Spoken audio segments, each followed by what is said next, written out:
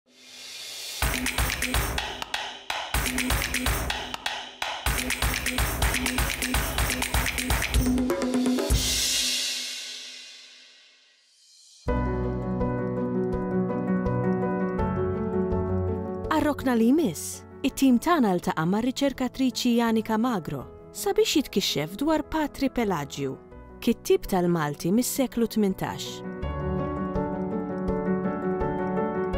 Bartolomeus Mifsud twieled fid-disgħa ta' Frar 1708 u tgħammed l-għada fil-parroċċa ta' Ħaż-Żebbuġ. Huwa kien ġej minn familja tat-tajjeb u dan għen biex ikollu edukazzjoni mill-aqwa. Fil-fatt huwa laħaq tabib imma wara xi żmien huwa daħal qassis. Fl-1742 huwa jnaqad mal-patrijiet tal-Kapuċċini u hemmhekk ingħata l-isem ta' Patri Pelaġju Marija. Huwa kien predikatur famuż mhux biss f'Malta imma wkoll fi Sqallija u l-Italja. Huwa kien kittieb prolifiku, dan ifisser li kien jikteb fuq diversi oqsma. Ngħidu aħna kiteb fuq l-istorja ta' Malta, l-istorja tal-Kapuċċini ta' Malta, Kiteb ukoll fuq kittieba u artisti Maltin u barranin, kiteb fuq il-fidi nisranija, fosthom fuq San Publiju u San Pawl, u kiteb fuq il-postijiet u l-laqmijiet Maltin, u m'għandniex xi ngħidu kiteb ukoll fuq il-lingwa Maltija. Interessanti ukoll li Patri Pelaġju kien fied tad-dettall. Fil-fatt, fil-kitbiet tiegħu jidhru ħafna is-snin. U dan nifhmuh ukoll għax huwa kien storiku. Fis-seklu sbatax u tmintax, bosta studjużi kienu qegħdin jieħdu interess fil-lingwa Maltija. Ma rridux ninsew li dak iż-żmien il-lingwa Maltija kienet għadha mhijiex rikonoxxuta. U Patri Pelaġju kien wieħed minn dawk li beda jaħseb fuq il-Malti fosthom fuq in-nisel tal-Malti, il-Malti minn fejn hu ġej.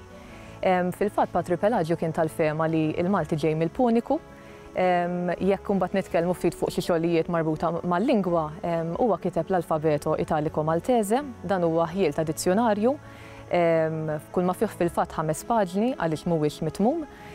Dan id-dizzjunarju huwa mit-Taljan għall-Malti u ta' min ninnutaw ukoll il-mod kif hu miktub il-Malti.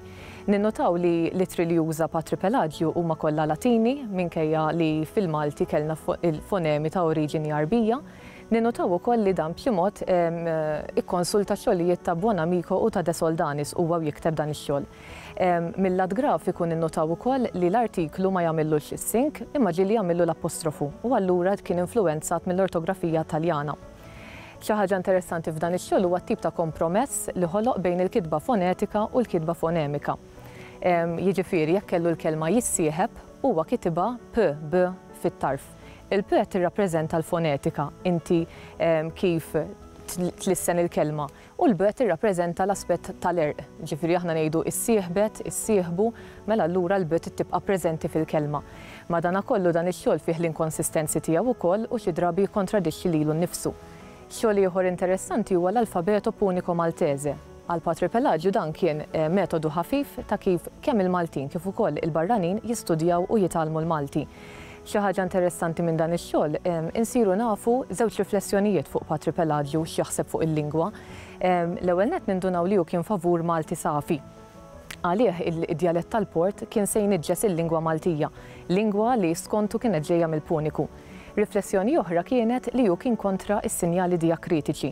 Dan ifisser li għalih alfabett ideali kellu jkun magħmul minn ittri Latini jew u kif ukoll digraffi. Fil-karattru ta' Patri Pelagju ninnutaw element pompuż. Dan jidher fil-mod kif kien jiffirma x-xogħlijiet tiegħu, ngħidu aħna fl-Alfabeto Punico Maltese kien iffirmah bit-titlu ta' Reverendo.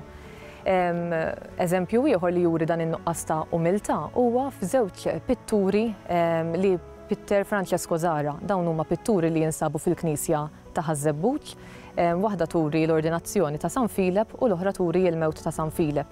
F'dawn iż-żewġ xogħlijiet jidher Patri Pelagju u l-preżenza tiegħu tidher tistona ftit, l-ewwel nett għaliex fi żmien San Filep l-Ordni Kapuċċina kienet għadha ma twaqqfitx u t-tieni nett għaliex suppost hu kien iħaddan il-kwalità tal-umiltà u allura dawn l-eżempji Iġagħluna naħsbu kemm fil-verità kellu formazzjoni Kapuċċina. Ikun interessanti kieku 'l quddiem tinstab xi prietka ta' Patri Pelaġju għaliex, kif diġà semmejt, huwa kien predikatur famuż, u tkun interessanti wkoll li kieku ssir riċerka fuq il-lat storiku ta' Patri Pelaġju.